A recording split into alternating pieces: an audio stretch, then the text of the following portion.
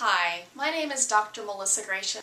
I've written a series of ebooks called Crazy Productive Tools to Keep You Sane in the Irrational World of Work. And today I'm going to read an excerpt from one of the ebooks called Conquer Your Email Today because there is no tomorrow. Here we go. In the Harry Potter book series, the irascible Mad-Eye Moody admonished young Harry to show constant vigilance while constant vigilance is an appropriate response if you have a powerful dark wizard after you, it is not a recommended approach for email management. In this era of near constant pinging of email, texts, and instant messages, it is tempting to feel that you need to be immediately responsive to incoming communications. There are some jobs for which instantaneous responses may be necessary but more often the need to respond immediately is assumed or even self-imposed.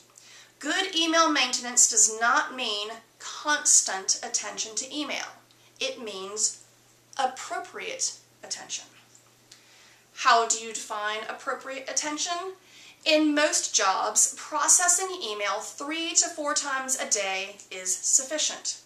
However, you may decide, and then I go on about some other decisions that you can make. But hear me on this. Most individuals are looking at their email 40 or more times a day, checking it, checking it, checking it. I talked in the ebook about processing email, so that's a critical distinction. Processing email is different than checking email.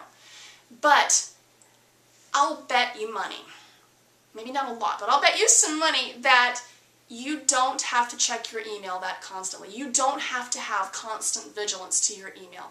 You could turn off all the alerts of incoming email and you could check it maybe even at the top of every hour. You know, if, if you've got it three to four times a day seems insufficient to you, check it at the top of every hour. You will be shocked at what you will be able to accomplish when you are not constantly working out of your email inbox.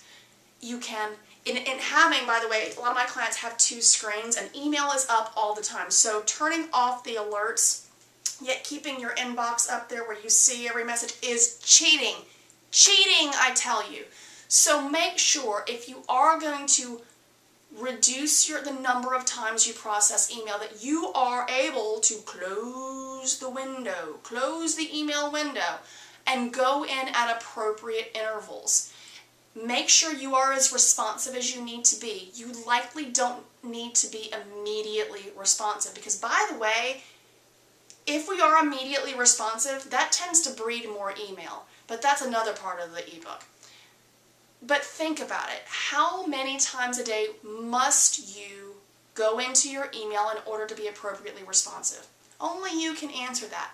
But be proactive, be intentional rather than reactive to every pinging, bonging noise that your mobile devices and your, your computer makes to tell you you have a new message. Be intentional. Reduce the number of times per day that you're checking email and remember, you don't have a powerful dark wizard following you, I hope, and constant vigilance may not be necessary. This is Dr. Melissa Gratias. If you'd like to learn more about my ebook series, please reach out to me online at www.melissagratias.com. Have a great day.